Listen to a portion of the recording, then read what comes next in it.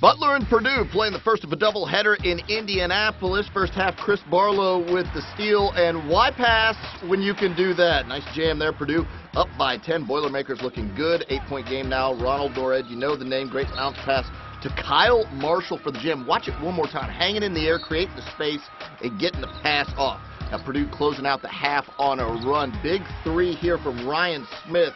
Purdue would go up by 15 at one point. They led by 8 at half. Second half now, Chase Stigall gets the ball at the top of the key, knocks down a three to bring the Bulldogs within five. You've heard of Robbie Hummel, haven't you? Robbie Hummel delivered 16 points a game high. Purdue, again, they're up by six, less than four to go, but the comeback is on for Butler. Andrew Smith on the business end of an alley-oop there. Then next possession, Kameron Woods dribbles to the wing, pulls and knocks down the three. Butler's within one, just over two minutes to go. 23 seconds left. Stigall penetrates into the paint, puts up a floater, and knocks this one down high off the glass.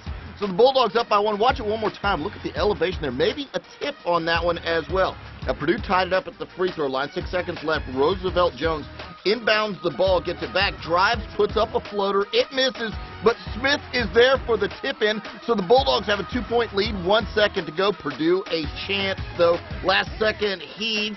But Chris Barlow's prayers aren't answered. Butler's are, though. They win it by a pair. Big comeback for the Bulldogs. Final score 67 65.